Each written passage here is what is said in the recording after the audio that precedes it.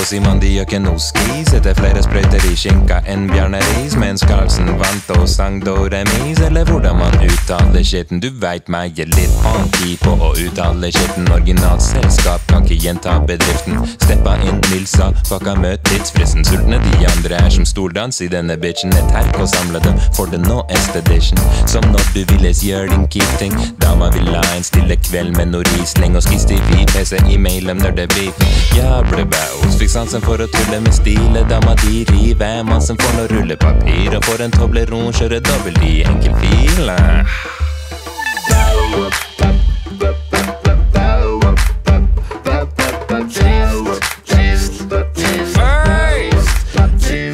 Plutselig var jeg kjent igjennom skis når de snakker til meg som jeg ikke har gjort i ti år. Sier de pisser på listene og skal mene ting. Jeg står og pisser på lister i leiligheten din som åh, har blitt vedtaget etter du pussa opp. Fungerte helt nordmann, skulle ikke vært sluppet ut blant folk. Men de vet hva de blir utsatt for, så jeg vet ikke helt jeg hva de er rusa på. Fra start har jeg vel vært en av de mest aktive. Legger sjela i det, og jeg er fra Fredrikstad. Jeg synes jeg kan ikke peke ut noe særlig for jeg i byen her. Nei, men kan veien bort til blå baklengs i blinde. Kommer som et sjokk, men har jeg sagt det til dem før. Jeg går hardt inn, ba, som jeg tramper av meg snø. Det er ikke mye mer å si, sjekk ut Tara stolthet. Er hypp på å ta meg ut, så kom jævlig godt forberedt.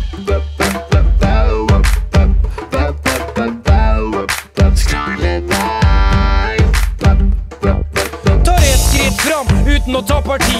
Gir dem en skyllebøtte, sip, dere suger. Jeg slikker kjæreste Tuva, tunga, bikkja, Jensen og bøtta. Det er bare pisspreik rett ifra nøtsa. Kjæreste Pia, så altfor lenge sia.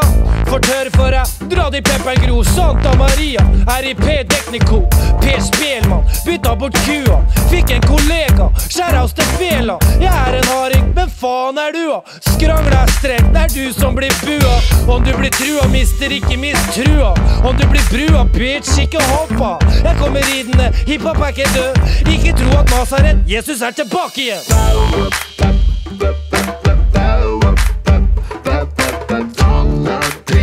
Okay. Ah, You can twitre dritt. Er aldri der. Skjer så jævla weird. Bare så last year. Hørte han ville hoppe foran neste tog. Og så vil utdanne seg til en sexolog. Han vil lukte sabla dritt. Med de rare dikta Hva det Carl driver med? Maler med stikla, Klager alltid over krangler med farmor. På good radio synger om en gammel traktor På National Rap Show Helt på tryn og greier. Der snakker han fit fetisj og runket nyresteiner Sånn i musikkvideo slacker på en tå En annen med hjelm og BH Når jeg setter det og I bloggvideoen er alt galt. Faen skrap! Hva skjer her på scena i pappdrakt Hvis den fortsatt skal battle? Er det litt rart? Når den aldri har vunnet Men har ti tap. Skjønner du? Ti tap? Gå og heng deg, Joken. Fuck deg!